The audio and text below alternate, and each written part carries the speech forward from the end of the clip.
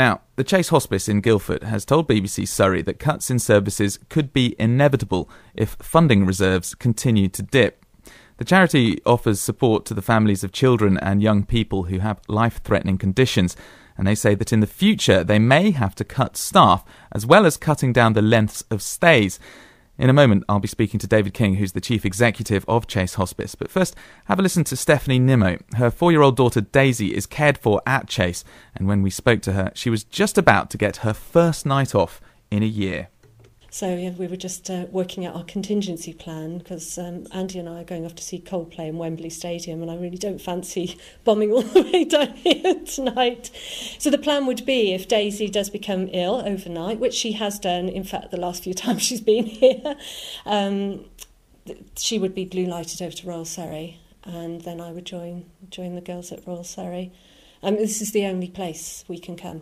It's the only place we can come with Daisy. It's the only place we can actually leave Daisy. And as I say, this is the, the first night that we've um, had a night off. That was Stephanie Nimmo, the mother of four year old Daisy, who uses the services at Chase Hospice. David King, Chief Executive of Chase Hospice, welcome to the programme. Um, just for people who may be not aware of what you do, because I know Chase is very well known in the county, but uh, I've only visited myself recently, what kind of services do you offer two families?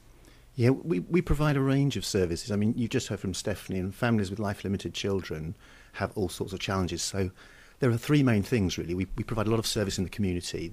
That's care workers, nurses, visiting families' homes, trying to make those nights off that Stephanie referred to possible. Um, we also have a hospice just south of Guildford, and that allows respite. That allows, again, parents sometimes to leave a child, for a child to come and stay with us in a very safe environment where they're well looked after and perhaps the family to get a holiday which they may not have had for years. And there, there are also specialist services like hydrotherapy pool, multi-sensory and, and play, all those kinds of things which really help um, some of the children, indeed some of the brothers and sisters. I think one of the important things about our service is the whole family. It's not just the life limited child, important though that is. Um, it's mums and dads, grandparents, brothers and sisters. So it's quite a range and it's quite hard to sum up. Um, visiting's always good. I'm glad you yeah. were able to. No, well, it. it's an amazing place, and the atmosphere is very happy and very caring. And as you say, you really get the feeling that the parents and the siblings of uh, of the uh, the ill child get every opportunity to take part in life at the hospice. And I was amazed that given the number of families that you help it doesn't cost a vast amount of money. I mean, it is in the millions to run, but the but the the good work that you do as a result of that money is just phenomenal, and you can see it in the faces of, of the people who go there how much does it cost to run? What's the bottom line, and what is the problem with the funding at the moment? Okay, we need about four million pounds a year to run, which, as you say, sounds like a big number. And if you're responsible for the fundraising, it feels like a big number. But um, what we deliver for that, as again you say, is really impressive. The, the problem um, is a lot of charities, we're no exception, have been hurt by the recession, and we are now struggling. Most of our income, 90 pence in every pound that we raise, comes from fundraising. So we get, you know, 10p in the pound from the government, and we're concerned about that. We were hearing earlier about cuts. So we're worried about whether that will endure. But that's only 10p in every pound we need. We need 90 pence in every pound from donations of one form or another. It is absolutely extraordinary when you hear from people like Stephanie who say that this is the only place, this is the only option that keeps them sane, that, that in a way gives their child the quality of life that they need. And yet you're almost wholly reliant on, on voluntary subscriptions. Yeah, um, one can talk loads about you know should the government do more or not. I mean, I think our view is we, we lobby through groups like Children's Hospices UK, which is an umbrella group, to try and get more money. Meantime, there are families like um, you know hearing from Stephanie's mum again who need our help now. So we go out there and we're trying to fundraise and get the message across that we need we need funds. Our income's gone down.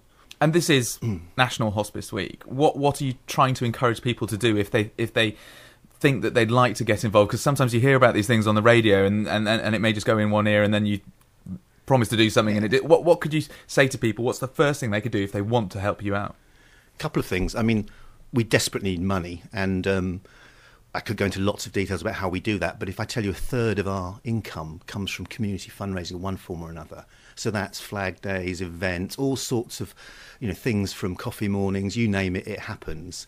And for us, still, that's a third of our income. So probably the biggest single thing someone could do was get on the website, which is chasecare.org.uk, have a look and see what possibilities there are. There's all sorts of events.